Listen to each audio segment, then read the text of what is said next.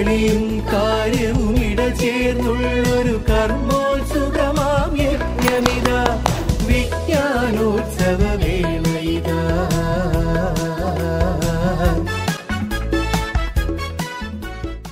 Hi കൂട്ടുകാരെ നമുക്ക് അടുത്ത ഒരു പ്രവർത്തനത്തിലേക്ക് പോകാം.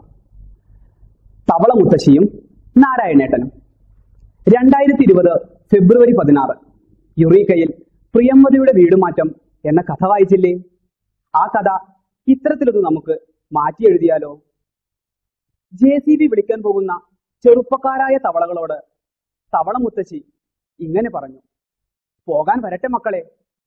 നാരായണേട്ടനോട് ഞാനൊന്ന് സംസാരിച്ചു നോക്കട്ടെ. അയാളത്ര ദുഷ്ടനൊന്നുമല്ല. കുളം നികത്തിയാൽ നമ്മൾ തവളകൾക്ക് മാത്രമല്ലല്ലോ പ്രശ്നം. എല്ലാം അയാളോട് പറയണം. നാരായണേട്ടൻ കുളം നികത്താനുള്ള തീരുമാനം മാറ്റുമോ? എന്താണ് നിങ്ങളുടെ അഭിപ്രായം?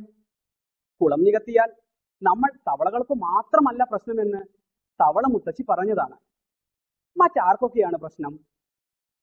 നാരായണേട്ടനും തവള മുത്തശ്ശിയും തമ്മിൽ എന്തെല്ലാം കാര്യങ്ങൾ പറഞ്ഞിരിക്കും?